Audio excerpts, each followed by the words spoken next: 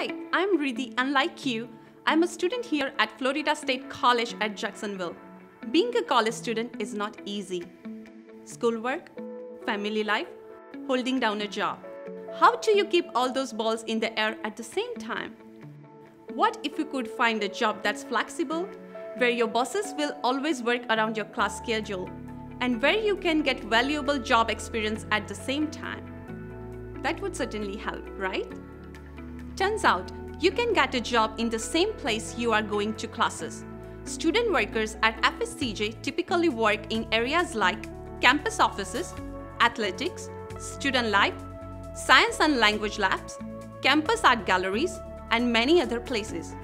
There are also great off-campus opportunities working with organizations like the YMCA, Goodwill, and the American Red Cross.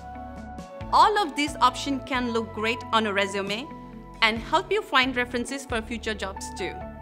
To qualify for student employment, you need to be taking at least 6 hours of classes in an approved program, maintain a 2.0 or higher GPA, and submit a FAFSA each year.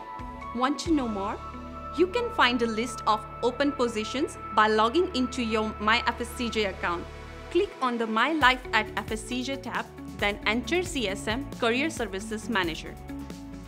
For more specific information or for help applying, you can contact one of our career development advisors at any campus or center.